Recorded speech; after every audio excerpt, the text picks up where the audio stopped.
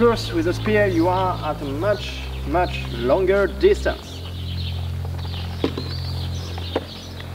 What have been very useful is to use it uh, on my side uh, for the Rohirrim like uh, a cavalier, like uh, a mounted fighter under there, your elbow under your arm, it's locked, it's strong, and there, like this, sometimes you can really push your opponent, and by doing this, sometimes the shield is really on the side, and you can even go right for the elbow. It happens by turning all around or pushing a bit because keep in mind that the, the spear is pointing and if you are doing huge thrust, something that you put a lot of strength in it, you will stay stuck in its shield and that could be a problem. You can, even uh, with a spear, you can really control then my spear and I will be really embarrassed and I will have to follow his shield and that could be a big problem because I'll stay stuck there.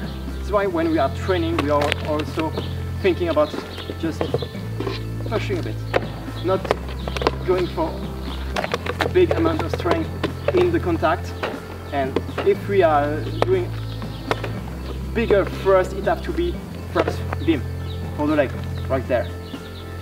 It have to be of course for the face. If it's open beam directly on the face.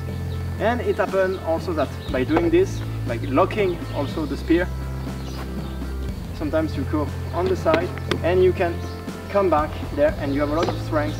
And perhaps without proper helmet just the tip there can slash the face the same uh, there won't do much if you have several layers of fabric, just point of the spear there will tickle a bit, but not create like serious damage.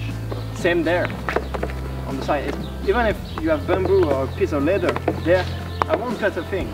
If I want to do something, I will have to directly thrust in the leg and perhaps stay stuck in there, but stuck in the leg, it's far better than stuck in the ship. We have mostly the same techniques in fact on both sides because we have the same kind of shield. We are trying to control create opening by turning around it depending on how it could be done. Like this you can come under. It really depends on the scenario but this have been kind of basic. We switched a lot there something that have been interesting is to use the spear to deflect your opponent's blows as well. And this is very efficient when I try to stab for the face perhaps just remove the spear directly from him and you can even use the back of your spear stab. And this position have been very effective as well because you can control push come up disturb a lot like this and same same thing goes you see, you can control where your opponent is pushing with the spear. Oh, that was my hand. Happens. Again, like this, disturb him.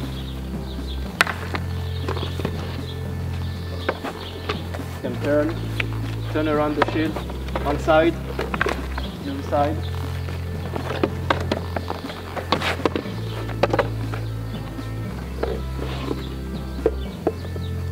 Again. The thing is that with one hand like this, if we go for the cavalier position and under his arm, there I have absolutely no strength. He controls the spear, I'm not controlling anything. I'm just trying to follow, move, but it's a position when you are very strong, you can control the, uh, the assault fight when you are like this.